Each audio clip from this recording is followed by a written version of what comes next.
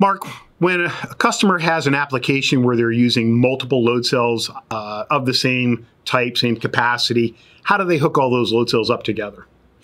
Well, it's a great question because typically a digital indicator is designed to communicate with a single load cell. So um, when you have um, an application that uses multiple load cells, uh, say for instance we have multiple S types, typically you may have three S types in a hanging scale.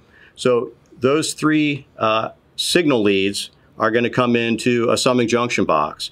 And that summing junction box will tie the signal output leads together, and from that that summing junction box, there'll be a single load cell cable. So that single load cell cable will go to your instrumentation, and as far as the instrumentation knows, it thinks there's only one load cell, which is what the summing box does. So again, you have multiple load cells go into a summing box, a single load cell cable leaves, that goes to your instrumentation, and that allows you to use multiple load cells when you're tying millivolt per volt together. Great, thank you.